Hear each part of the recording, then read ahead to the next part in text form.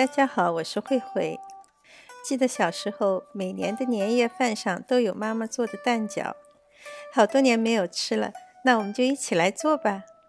这里介绍一款纯肉馅蛋饺的做法及摆盘：取五百克三分肥七分瘦的肉末，加五十克的姜末和五十克的葱碎，搅匀后加两勺生抽，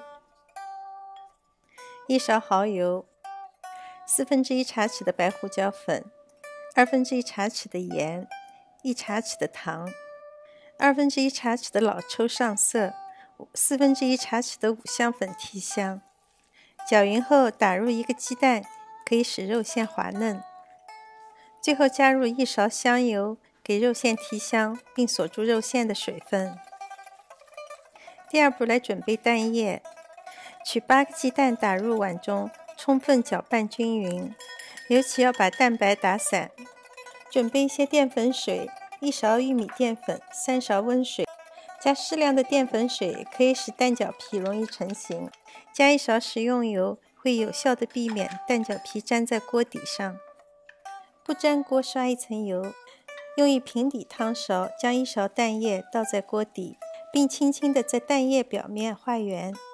待蛋饺皮成型，放入适量的肉馅，将一边轻轻翻起，盖在肉馅上，用勺子背顶住肉馅，轻轻往下按压，一个蛋饺就做好了。好，我们再来做一个，记住一定要轻轻地往一个方向转，尽量让蛋皮厚薄均匀。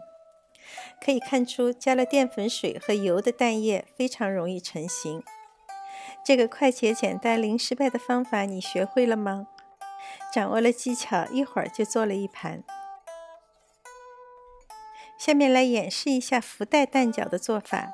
用同样的方法做一个蛋饺皮，在中间放入一小点肉末，饺皮对折翻起，用筷子从肉馅的两边将饺皮夹起，就形成了一个福袋蛋饺。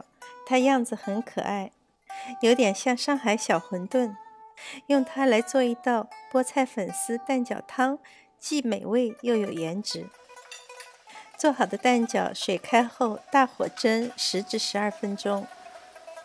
上桌前可以给它摆个造型，提升一下颜值。